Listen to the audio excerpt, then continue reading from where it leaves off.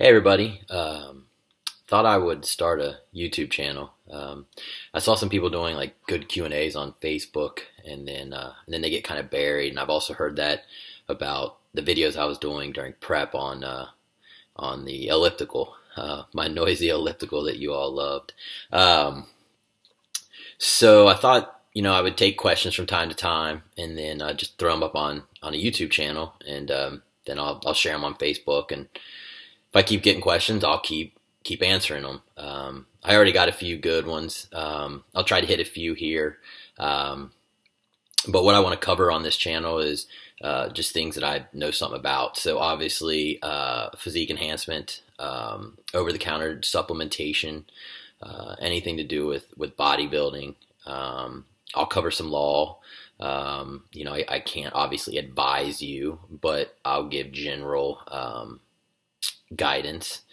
Um, and then really just anything business. If you have a question on um, how I became a coach or, you know, uh, just my take on getting businesses started in general. Um, not only have I had a prep business for 10 years, I also um, work for an entrepreneur who has about 30 businesses, and I'm basically on call for him. Um, I do go into an office uh, but uh, really it's it's more like being a retained uh, attorney just for him. So um, I have that background as well. So uh, let's see, let's get into it. Uh, what were some questions um, that were asked? Um, so one question uh, that was brought up was how I use keto uh, to kick off a diet sometimes. Um, and the reason I do that is um, I know some of my clients have really highly adaptive metabolisms, uh, meaning that um, most of the time when you make a change, they adjust very well. So you'll see these people being able to eat absurd amounts of carbs and calories in the off season, and they still really don't get that that heavy. Um, and when I say heavy, I mean fat. Um, so you might have a male at 4,000 calories, but then you know the first time you diet him as a coach, you got him down to 1700 to get in shape. And you're and you're realizing that you know for one the four thousand probably wasn't necessary, and for two um, they're just very highly adaptive. Every change you make, you might get a little little move, and then you have to change it. Um, you have some clients who, if you start at 300 carbs in the off season, you drop 50, they drop, you know, two to three weeks. You drop 50, they drop two to three weeks. You had 15 minutes of LISS cardio, every morning they drop. Not everyone's like that. Um, and usually it takes me a prep to kind of figure some of these out. So some of the ones that are more highly adaptive, if I've got, you know, I always try to get carbs up in the off season, but when you do that, you know, you're going to gain some body fat and you are going to lose some insulin sensitivity. So with those people, a lot of times what I do is I shock them right away. So, you know, let's say someone's on 200 carbs. Well, I'm going to go right into a ketogenic diet. Um, and my my thought on this has changed over the years. I can admit that.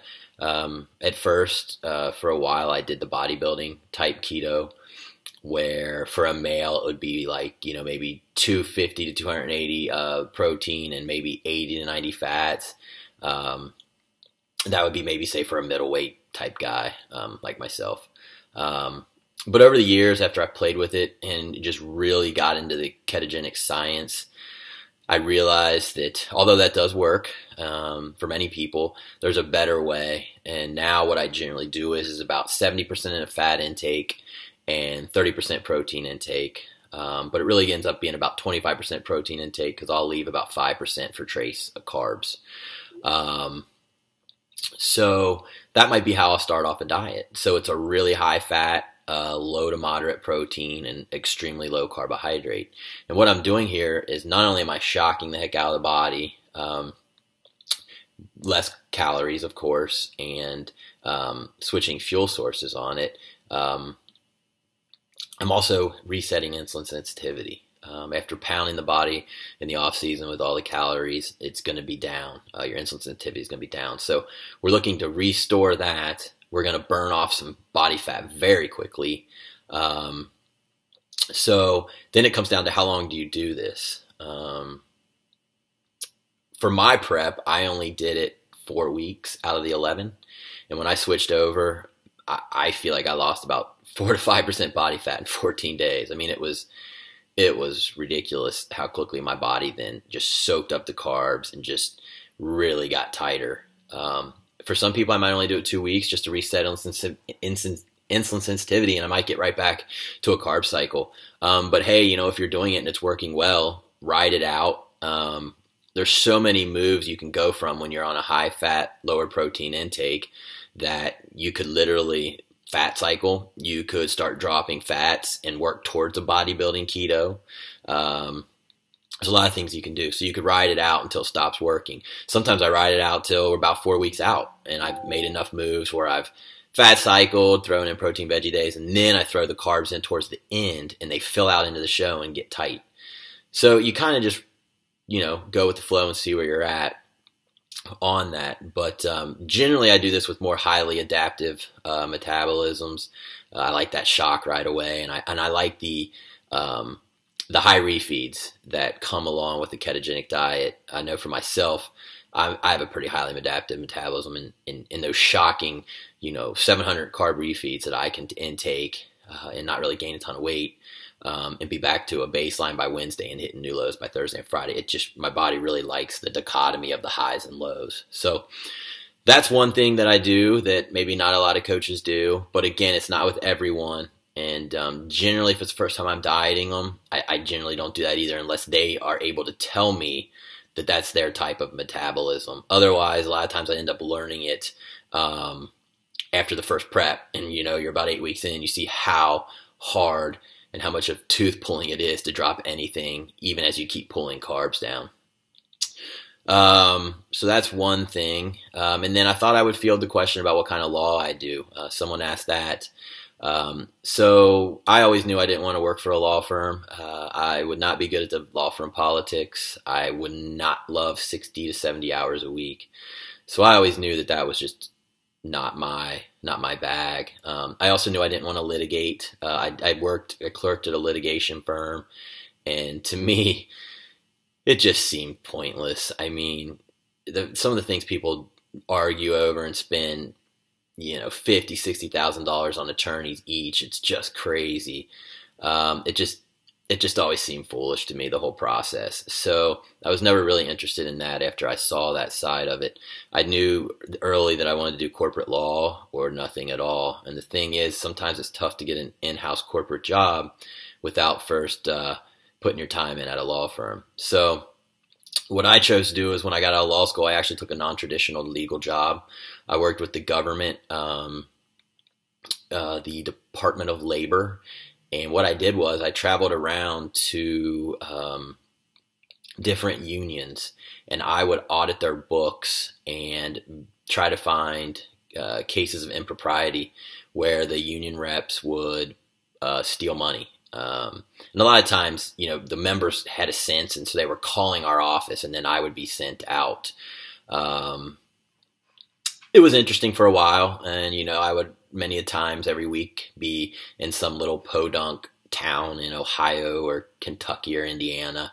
Got kind of old, and um, there was just some differences with my boss and I. I don't like to be micromanaged, and um, at the same time, I did hang a shingle out, and I had my own little solo practice, and I was helping small businesses set up LLCs and uh, helping people with uh, dissolution of marriage without kids, just simple things that I could do. I uh, wrote briefs um, for uh, cases um, that were uh, in appeal and things like that. And that way, that kind of kept my license and my mind active. Um, so it's always kind of been my thing to always have a few streams of income. Even during that time, I was also refing soccer.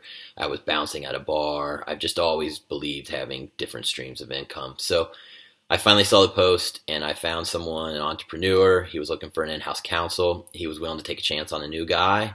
And um, him and I had hit it off really well. And um, I started there about 13 years ago and I've never changed. And I handle everything from trademark filing to when he buys a new building, all the bank documents and the purchase agreements. I handle a lot of leases. He has he has buildings. He also has um, uh, residential. Um, I would handle if people aren't paying their bills, sending out collection letters.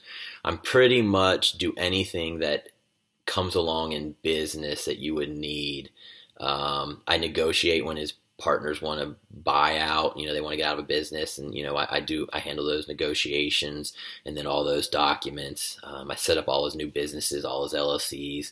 So there's just a lot that goes into you know having 30 businesses, and I'm basically on call to handle all those, and um, that's what I wanted to do, and I like it, um, and um, so.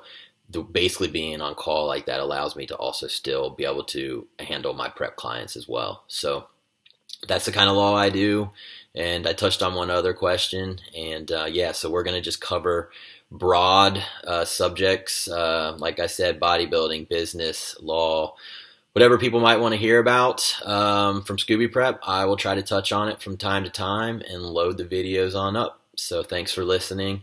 And maybe some of these will get you guys through cardio. All right. See you later.